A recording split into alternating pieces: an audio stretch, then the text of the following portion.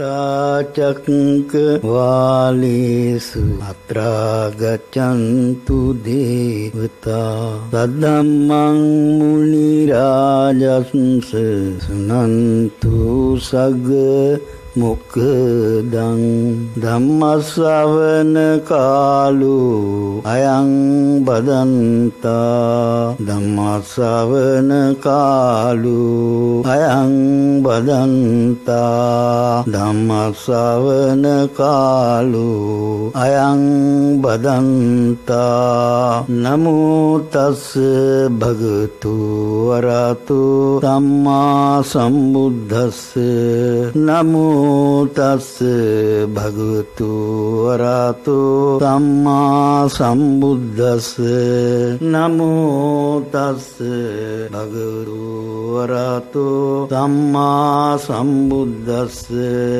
සර්ධාවන්ත පින්වත් ශ්‍රාවක ශ්‍රාවකාවනි අපි පහුගිය ධර්ම දේශනාවේදී ඊටා පැහැදිලිව පෙන්වුවා සෝතාපන්න වීමේ ප්‍රතිපදාව. එහෙම නැත්නම් සෝවාන් මාර්ගයට පත්වීම ඉතාම සරල දෙයක් කියලා. සූත්‍ර දේශනාවේ සංයුක්ත නිකායේ සූතාපන්න සංයුක්තේ සූත්‍ර දේශනා 70කට වැඩිය තියෙනවා. ඒ හැම සූත්‍ර දේශනාවකම සඳහන් වෙලා තියෙන්නේ සූතාපන්න වීමේ ප්‍රතිපදාව වශයෙන් මෙන්න මේකයි. මොකද්ද? ಗುಣ දැන භාග්‍යවතුන් වහන්සේ සරණ යාම. දෙක ගුණ දැන නෛර්යානික ශ්‍රී සද්ධර්මයේ සරණ යාම. තුන ආර්ය මහා සංඝරත්නයේ සරණ යාම. හතර අඛණ්ඩ අච්චිද්‍ර අකල්මාස බූදිස්ය විඤ්ඤ ප්‍රසස්ත සමාධි සංවත්තනික සීලේ පිහිටීමයි. මෙන්න මේ සිව් දහමෙන් යුතුයනම් යම් කෙනෙක් ඔහු උතුම් සම්බෝධියටපත් වූ සෝතාපන්න ශ්‍රාවකෙක් කියලා භාග්‍යවතුන් වහන්සේ විවිධ අවස්ථාවල දේශනා කොට වදාළා. නමුත් අද මේ සෝතාපන්න වීම ප්‍රතිපදාව අවුල් කරලා තියෙනවා. මෙන්න මේ අවුල ලියද්දී යම් යම් අයට හිත වේදනා ඇති වෙන්න පුළුවන්. නමුත් මේ ධර්ම දේශනා කරන්නේ කෙනෙකුට හිත රිදවන්න නෙවෙයි. අසරණ බවට පත් වෙලා තියෙන ලංකාවේ ලක්ෂ ගාණක් බෞද්ධ උපාසක උපාසිකාවන් අද නොමග ගිහිල්ලා තියෙනවා.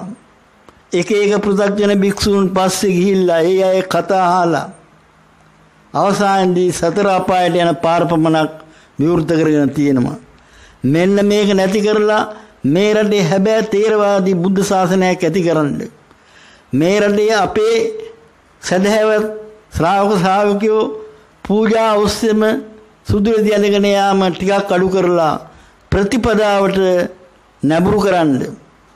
අවසානයේදී මේ ප්‍රතිපදාව තුල මේ ශ්‍රාවක ශ්‍රාවිකාවන් උතුම් සෝතාපන්න ශ්‍රාවකින් බවට පත් කිරීමේ පරම පවිත්‍ර චේතනාවෙන් උයි මේ ධර්මයේ දේශනා කරන්නේ. එතකොට පින්වත්නි මේ සිව්දහමෙන් පළමුවෙන් අපි ගමු බුදුන් සරණ යාම. අද බුදුන් සරණ යන්නේ බොහොම වැරදි විදියකට. මම දැන් සෑහෙන කාලයක් තිස්සේ මේ පුහුණු වීම කරගෙන යනවා ශ්‍රාවකීන්ට. එන අයගෙන් 100ට එක්කෙනෙක්වත් දන්නේ බුදු ගුණ නමේ හරියට. සමහර වෙලාවට එනවා සෝතාපන්න වෙච්ච අය කියලා හිතාගත්තු අය මයනුත් අහගන්න. සමහර අය එනවා බොහොම ධර්ම විසරදියෝ. සමහරක් ඉන්නවා අවුරුදු 7-8ක් භාවනා මධ්‍යස්ථවට ගිය අය. මේ කවුරුත් හරියට දන්නේ නැති එකම කාරණය තමයි භාග්‍යතුන් වහන්සේගේ නවහරාදී බුදුගුණ. අද මොකද වෙලා තියෙන්නේ? පිළිමේ අධ්‍යා බලලා බුදුරජාණන් වහන්සේ සරණ යනවා. ඒක කොහොමද කරන්නේ? බුදු පිළිම එකින් එකට වෙනස්. වර්ණයෙන් වෙනස්, ගුණයෙන් වෙනස්. බුදු පිළිමේක ලස්සන හෝ අවලස්සන තීරණය වෙන්නේ ඒ නිර්මාණය කිරීමට යොදවන මුදල සිතරාගේ දක්ෂා යොදවන ද්‍රව්‍යයන්ගේ අනර්ගත්‍ය මත පමණයි. ඒ අනුව මේ බුදුරජාණන් වහන්සේ මෙහෙමයි මේ බුදුරජාණන් වහන්සේ මෙහෙමයි කියලා හිතනවත් එක්කලම තමන්ගේ බුදුන් සරණ යාම නතර වෙනවා. එහෙම නෙමේ බුදුරජාණන් වහන්සේ සරණ යන්න ඕනේ. නවහරාදී බුදුගුණ එකින් එක අවබෝධයෙන් සත්‍යයනය කරමින් අනුලෝම පටිලෝමව ඒ බුද්ධානුති භාවනාවක් වශයෙන් වඩමින් බුදුන් සරණ යන්න ඕනේ. දැන් අපි හිතමු නවගුණ වෙලක් අරගෙන යන් කෙනෙක් මේ නවරාදි බුදු ගුණ හරියට දැනගෙන මේම අරහං අරහං අරහං අරහං අරහං අරහං අරහං අරහං අරහං අරහං අරහං අරහං සම්මා සම්බුද්ධෝ සම්මා සම්බුද්ධෝ සම්මා සම්බුද්ධෝ සම්මා සම්බුද්ධෝ මේ ආකාරයෙන් අනුලෝම පටිලෝම හොඳින් අර්ථ දැනගෙන සජ්ජායනය කරන්න ඕනේ. සජ්ජායනය කරලා අවසානයේදී මානසිකාරය දෙන්න ඕනේ. බුදුගුණ භාවනාව. මෙන්න මේ බුදුගුණ භාවනාව උදේ හවා යම් කෙනෙක් කරනවා නම් ඔහු කවදාක්වත් සතර පායට වැටින්නේ නමුත් අද මෙව කියලා දෙන්නේ මෙව කියලා දුන්නොත් මොකද වෙන්නේ? පාන්සලට තියෙන ලාභ අඩු වෙනවා. ඒක ඒක භික්ෂුන් වහන්සේලාගේ පෞද්ගලික ප්‍රචාරය සඳහා ඒගොල්ලන්ගේ ප්‍රතිරූප ගොඩනංවන්න කරන විශාල පූජාවට හානි වෙනවා. ශ්‍රාවකයෝ පටන් ගන්නවා කොහේ හරි ඉඳගෙන පන්සලේ හෝ ගෙදර හෝ ගහක් යට හෝ ගලක් උඩ ඉඳගෙන වෙල්යායේ තුනක් උඩ ඉඳගෙන හරි භාග්‍යතුන් වහන්සේ ගුණ සීකරන්න බුද්ධාහුතිය වඩන්න. ඒ තුලින් භාග්‍යතුන් වහන්සේ සරණ යනවා.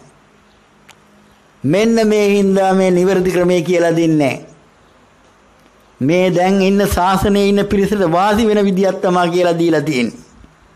ඒක ඒක තායට ගී කියනවා. කානිවල් එකක් වාය අද පන්සල්. මිහිරි කඩාඩක් තියෙනවනම් ඕන කෙනෙකුට ජනප්‍රිය වෙන්න පුළුවන්. මිහිරි කඩාඩක් තියෙනවනම් සිවුරක් ඇඳගත්තා. හරි ජනප්‍රිය දේශකයන්න් වහන්සේ කෙනෙක් වෙන්න පුළුවන්. ආන් ඒ තත්ත්වෙට මේ ශාසනය පිරීලා තියෙන්නේ. ඊළඟට සද්ධර්මයේ සරණ යාම. ස්වාක්ඛාතු භගවතු මෙහෙම කිව්වට ස්වාක්ඛාතු සම්දිස්තිකෝ අකාලිකෝ මේ වචන කිව්වට සරණ යනවද නැහැ. මේ ස්වාක්ඛාතයි කියන්නේ ධර්මයේ තියෙන ගුණයක්. සාන්දෘෂ්ටිකයි කියන්නේ ධර්මයේ තියෙන ගුණයක්. අකාලිකයි කියන්නේ ධර්මයේ තියෙන ගුණයක්. මොකද්ද මේ ධර්මය? ඒ ධර්මයේ තමා ප්‍රථම වරට භාග්‍යවතුන් වහන්සේ බරණැස ඉසිපත්නේ මිගදායේ දේශනා කොට වදාලා වූ චතුරාර්ය සත්‍ය ධර්මයේ. එහෙමනම් ධර්මයේ සරණ යනවා නම් මේ චතුරාර්ය සත්‍යයේ වට්ටම් තුනකින් තේරුම් ගන්න කියලා භාග්‍යවතුන් වහන්සේ දේශනා කරා. මේ පළවෙනි වට්ටම සත්‍ය ඥානයක් වශයෙන් ලබා ගැනීමයි. එහෙමනම් මේ සරණ යාමේදී වඩාත් නිවැරදි විශ්වාසදායී ක්‍රමය තමයි චතුරාර්ය සත්‍ය ධර්මයේ සත්‍ය ඥානයක් වශයෙන් අවබෝධ කරගෙන මේ ඒ ධර්මයේ සරණ යාම. ඒ චතුරාර්ය සත්‍ය ධර්මයේම තමයි තියෙන්නේ ආර්ය අෂ්ටාංගික මාර්ගය. ඒ ආර්ය අෂ්ටාංග මාර්ගය අද හුඟ දෙනෙක් දන්නේ නැතුවයි භාවනාවට යන්නේ. බොහෝ භාවනාව පිළිබඳ විශේෂඥයෝ ඉන්නවා. බොහොම ශ්‍රද්ධාවන්තයෝ ඉන්නවා. බොහොම දන් දෙන අය ඉන්නවා. නමුත් මේ අය හුඟ දෙනෙක් දන්නේ නැති ලොකුම දේ තමයි ආර්ය අෂ්ටාංගික මාර්ගය. දැනගත්තු අයත් මේක විකෘති කරලා තියෙන්නේ. සීල සමාධි ප්‍රඥා කියන ප්‍රඥා සීල සමාධි කියනවා. අවසානයේදී සම්මා සමාධිය කියන්නේ පළවෙනි දෙවෙනි තුන්වෙනි හතරවෙනි ධ්‍යානයන්ටපත් වීම කියලා සූත්‍ර දේශනාවේ පැහැදිලිව දේශනා කරලා තියද්දී මේ අසත්පුරුෂෝ පිරිසක් කියනවා නෑ ෂණික සමාධිය කියලා එකක් තියෙනවා සම්මා සමාධිය කියලා එකක් නැහැ කියලා. මෙන්න මෙවුවා ආනන්තරීය පාප කර්ම ගානටම මහා බලවත් පාප කර්ම. මෙන්න මෙවුවෙන් මිදිලා හරියට ආර්ය අෂ්ටාංග මාර්ගයේ දැනගෙන ධර්මයේ සරණ යන්න ඕනේ. ඊළඟට තමයි ලොකුම අමාරුම වැඩේ තියෙන්නේ. අර කලින් බුදුන් සරණ යාමත් ධර්මයේ සරණ යාමත් වැරදි පෙන්ලා දීලා හරියසන්න පුළුවන්.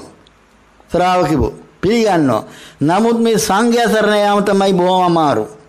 අද මේක මුල් බැලස් මේ ශාසනය තුල.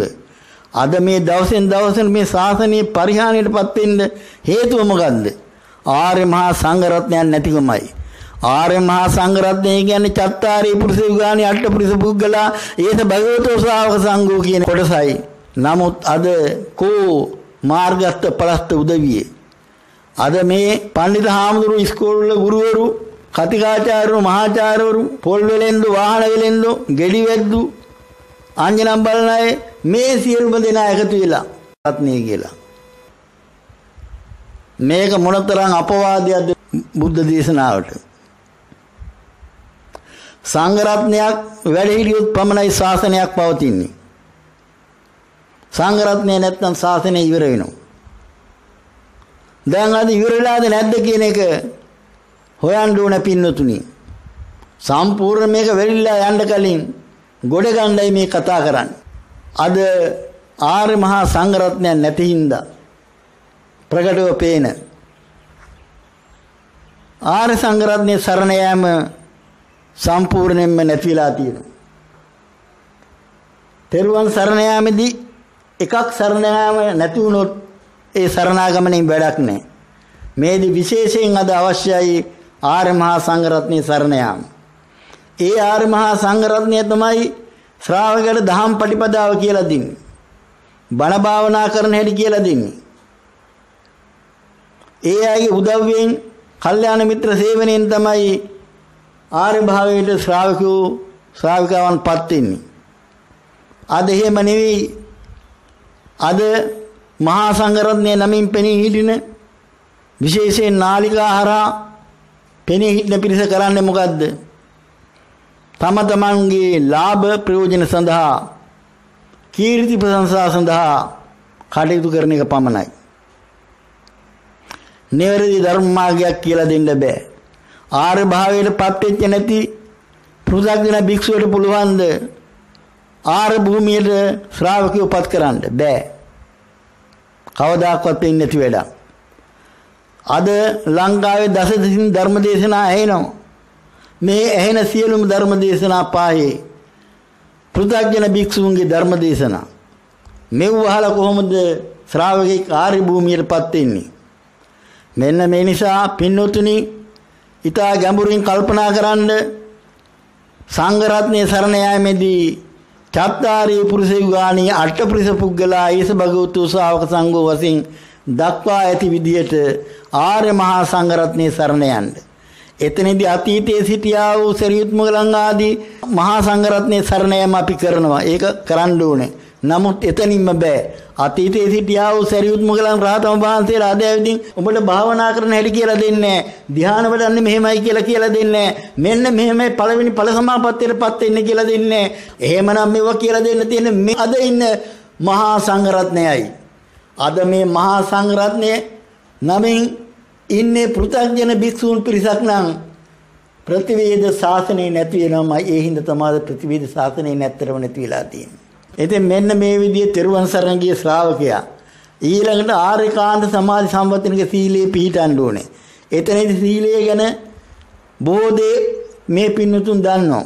ඒ නිසා මා මෙහිදී වැඩිදුර කතා කරන්නේ නමුත් ආර්යකාන්ත සමාධි සම්පත්තිනික සීලය කියන්නේ මොකක්ද කියලා තේරුම් ගන්න ඕනේ. මේ ආර්යකාන්ත සමාධි සම්පත්තිනික සීලය කියලා සූත්‍ර දේශනාවේ දහස් ගණන් තැන්වල තියෙනවා. සෝතාපන්න වීමේ ප්‍රතිපදාව යම් තැනක භාග්‍යතුන් වහන්සේ දේශනා කොට වදාලාද ඒ හැම තැනකම ආර්යකාන්ත සමාධි සම්පත්තිනික සීලය කියලා සඳහන් කරලා තියෙනවා. මෙන්න මේක නිවර්දි කරේනේ අවුරුදු දහස් ගාණක් තුල. ඇයි? මේන් කියවෙන්නේ මෙන්න මේකයි පින්නොතිනි. සීලස්කන්ධය වඩන්නේ සමාධි ස්කන්ධය වඩන්නයි. මේ සීලස්කන්ධය වඩලා අවසන් වෙනකොටම සමාධියටපත් වෙන්න වාඩි වෙන්න ඕනේ. මේ අතපය හතර පැත්තට දාලා ඇලවිලා හිටියොත් කවදාකවත් සමාධියටපත් වෙන්න බෑ. කය ග්‍රීවේ ඍජුව තියාන පළඟ බැඳ ගන්න ඕනේ පාසු ඉරියව්වක් වෙන්න ඕනේ.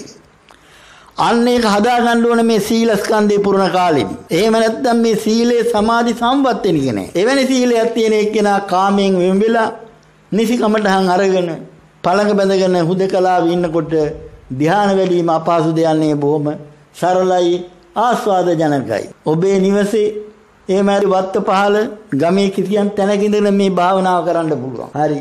අපි ඒව පස්සේ දේශනා කරමු. දැන් අපි දේශනා කරා සෝතාපන්න වීම ප්‍රතිපදාව. එහෙමනම් කියන්නේ නිසි සරාගමනටපත් වෙලා ආරකාන්ත සමාධි සම්පත්තිනික තීලේ පීටියයි. ඒ සිව්දාම තියෙනවා නම් එයා සෝතාපන්නයි. භාග්‍යතුන් වහන්සේ දේශනා කළ වදාලා. ඒ නිසා අද ඔබ කල්පනා කරලා බලන්න භාග්‍යතුන් වහන්සේ සරණ ගියා හරිද? ධර්මයේ සරණ ගියා හරිද? ඔබ සරණ ගියේ කවුද? ආර්ය මහා සංඝරත්නයේද? ඒව වැරදි නම් ඔබ ගත් උත්සාහයත් නිෂ්ඵලයි. උත්තම ජීවිතයකටපත් වෙන්න නෙමේ පාර කැපෙන්නේ. අනිත් පැත්තටයි. භාග්‍යතුන් වහන්සේ දේශනාවකට වදාලා අවජ්ජේ වජ්ජේ මතිනෝ වජ්ජේ චා වජ්ජ දස්සිනෝ මිච්ඡා දිට්ඨි සමාදානා සත්තා ගච්ඡanti දුක්ගතින්. නිවැරදි දෙය වැරදි ලෙසම දකින. වැරදි දෙය නිවැරදි ලෙසම දකින. මිත්‍යා දෘෂ්ටිකෝ දුගතියේම උපත ලබති. වජ්ජංච වජ්ජනෝ තත්තා අවජ්ජංච අවජ්ජතු. සම්මාදිට්ඨි සමාදානා සත්තා ගච්ඡanti සුග්ගතින්. වැරදි දේ වැරදි දෙසම දකින්න නිවැරදි දේ නිවැරදි දෙසම දකින්න සම්මා දෘෂ්ටියටපත් වූ සුගතියේම උපත ලබති. මෙන්න මේ විදිහට සෝතාපන්න වීමේ ප්‍රතිපදාව වැරදි විදිහට දැක්කොත් ඒක මිත්‍යා දෘෂ්ටියක් බවට පත් වෙනවා. ඒ ප්‍රතිපදාව හරි විදිහට දැකලා ඒ ප්‍රතිපදාවේ සමාපත් වුණා නම් ඒක සම්මා දෘෂ්ටියටපත් වෙනවා විතරක් නෙමෙයි එයා සුගතිගාමී වෙනවා. සෝතාපන්න ශ්‍රාවකෙක් වශයෙන්. මෙන්න මේ කාරණා ගැඹුරින් හිතලා බලලා අපේ පින්නතුන් ධර්ම මාර්ගයේ යෙදෙන්න කියලා කාර්මික දන්වා සිටමින් මෙතකින් පවත්වන ලද ධර්ම දේශනාව අවසන් කරනවා. එත්තාවතා චම්මේහි සම්බදම් පුඤ්ඤ සම්පදං සබ්බේ දේවා අනුමෝදන්තු සබ්බ සම්පත්ති සිද්ධියා සබ්බේ භූතා අනුමෝදන්තු සබ්බ සම්පත්ති සිද්ධියා සබ්බේ සත්තා අනුමෝදන්තු සබ්බ සම්පත්